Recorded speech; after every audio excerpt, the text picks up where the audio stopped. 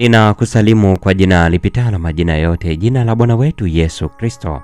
Karibu katika mfululizo wa masomo ya kesha la asubuhi. Hii ni Oktoba 2 ya mwaka 2024. Tuombe. Haleluya, haleluya, Baba yetu na Mungu wetu uliye mbinguni, tunasema asante kwa ajili ya asubuhi hii njema ya leo. Tunalitukuza jina lako kwa namna ambavyo umetulinda na kutuongoza. Wakati fulani tumetenda dhambi na tulistahili kufa, lakini kwa neema yako umetuweka hai tena. Kwa ajili ya nafasi hii ya leo, tusamehe dhambi zetu. Endelea kudumu kuwa pamoja nasi ukituongoza na kutubariki. Roho Mtakatifu aendelee kuwa pamoja nasi akitufundisha haya tujifunzayo, katika jina la Yesu, amina. Mada ya leo inasema mji wa makimbilio. Zaburi 132 aya 13 na 14 inasema, kwa kuwa Bwana ameichagua Sayuni, ameitamani akae ndani yake.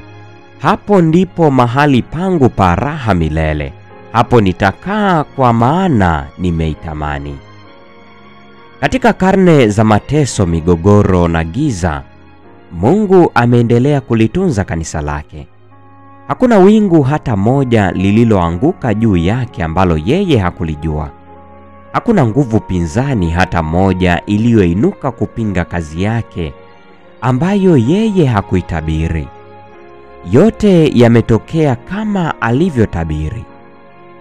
Hajalitelekeza kanisa lake, bali amefuatisha katika maandiko ya unabii mambo yatakayotokea na yale ambayo Roho wake aliwavuvia manabii kutabiri ya kuwa yametimia.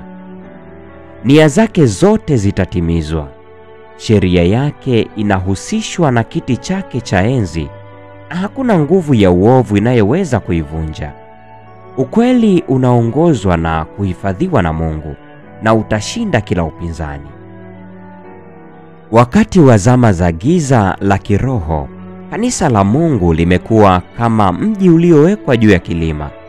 Kutoka kizazi hadi kizazi, kwa mfululizo wa vizazi, mafundisho safi ya mbinguni yamekuwa yakijitokeza ndani ya mipaka yake. Ndiyo eneo la neema yake ambalo hufurahia kuonesha nguvu yake ya kubadilisha mioyo. Kanisa ni ngome ya Mungu, mji wake wa makimbilio anaoushikilia katika ulimwengu ulioasi. Usaliti wowote dhidi ya kanisa ni udanganyifu dhidi yake, yeye aliyemnunua mwanadamu kwa damu ya mwana wake wa pekee. Tangu mwanzo, waaminifu wameunda kanisa duniani.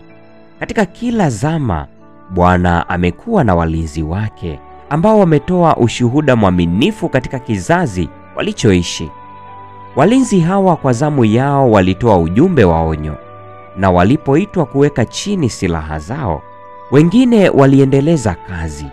Mungu aliwaleta mashahidi hawa katika uhusiano wa agano pamoja na yeye mwenyewe, akiwaunganisha kanisa lililoko duniani pamoja na kanisa la mbinguni. Amewatuma malaika zake kuwahudumia watu wake, na malango ya kuzimu hayajaweza kushinda dhidi ya watu wake. Mungu anawapenda watoto wake kwa upendo usio kifani.